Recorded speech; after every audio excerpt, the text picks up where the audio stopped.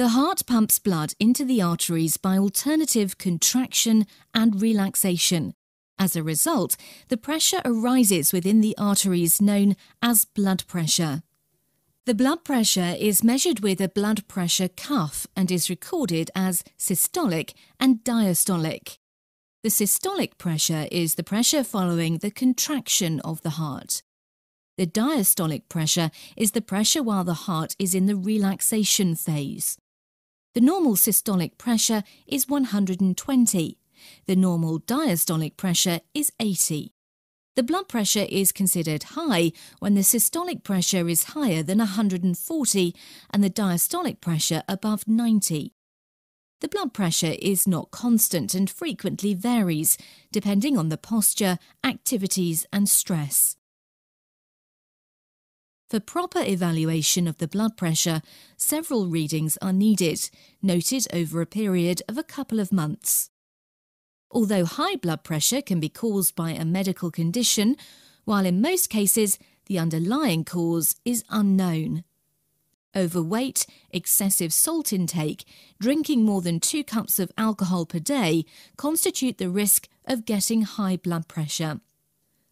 A healthy lifestyle can be a great contribution towards prevention of high blood pressure. Abstinence from smoking prevents damage to your cardiovascular system. Have less than two alcoholic drinks per day.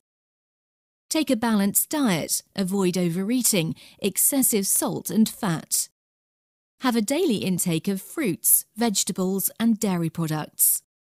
Physical exercise, relaxation, and fun prevent stress and positively affect your blood pressure.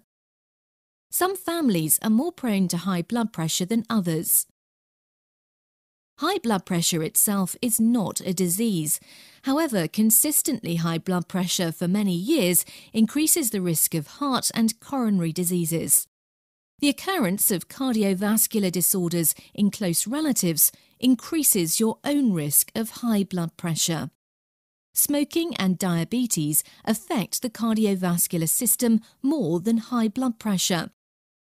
You are advised to have your blood pressure checked by your general practitioner.